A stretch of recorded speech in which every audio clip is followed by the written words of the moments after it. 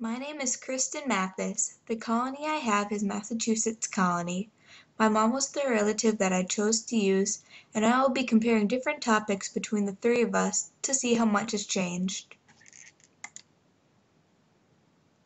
I became a teenager in 2010 and will be one until 2016.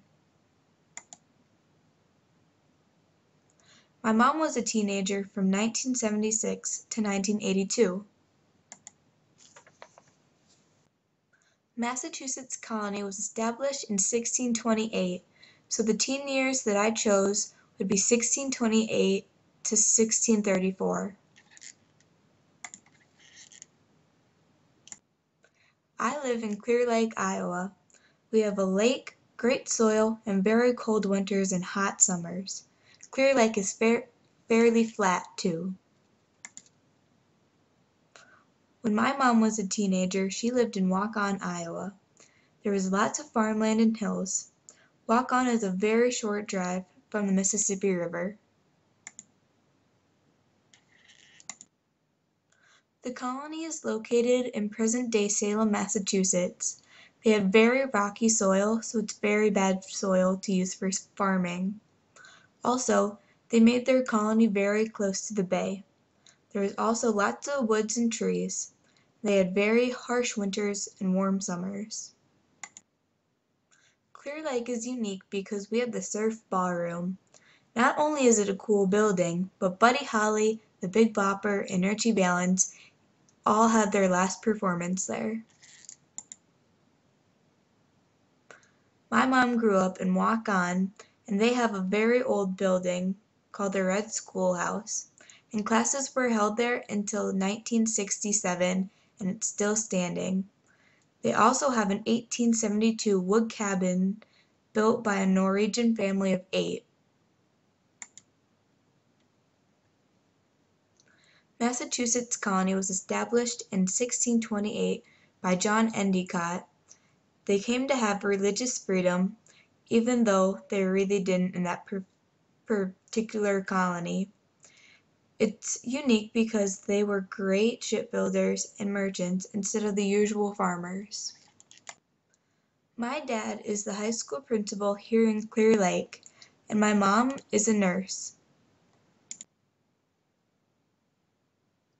Like me, my mom's mom's job was a nurse. Her dad, however, was a farmer. She told me that her parents never talked about their jobs at home because it was something that they just never brought up at the dinner table. Since they had such bad soil, most people used the bay for jobs. They became fishermen and small merchants. Some people also became shipbuilders. My chores at home are fairly easy. Usually they consist of unloading the dishwasher, folding laundry, and keeping my own room clean. My mom had to help cook for her 10 person family. She also had to do dishes, mow, work on the garden, and every Monday she would work at a nursing home. The colonists usually had to feed animals, cook, clean the house, and weed the garden. The main way of transportation for me is having my mom drive me around in her Acadia. Bikes are a big way to get around too though. Growing up, my mom's family owned a station wagon, and because they lived on a farm, they mostly used big cars and tractors. The biggest way of transportation was horses, walking, and boats in colonial times. A common food for me to eat is popcorn. My favorite dessert, however, is chocolate-covered strawberries. A very common food for my mom to eat when she was a teenager was homemade mac and cheese, and her favorite dessert was ice cream. Since they lived right next to the bay, their common food was seafood. A dessert they ate was apple or blueberry cobbler. The music I listen to is basically anything on the radio. Some popular artists are Katy Perry, Rihanna, Adele, Nicki Minaj, and Drake. As a teenager, my mom used to listen to Air Supply and Barry Manilow. She also listened to REO Speedwagon. The colonists mostly listened to hymns and gospel music, basically anything played at church.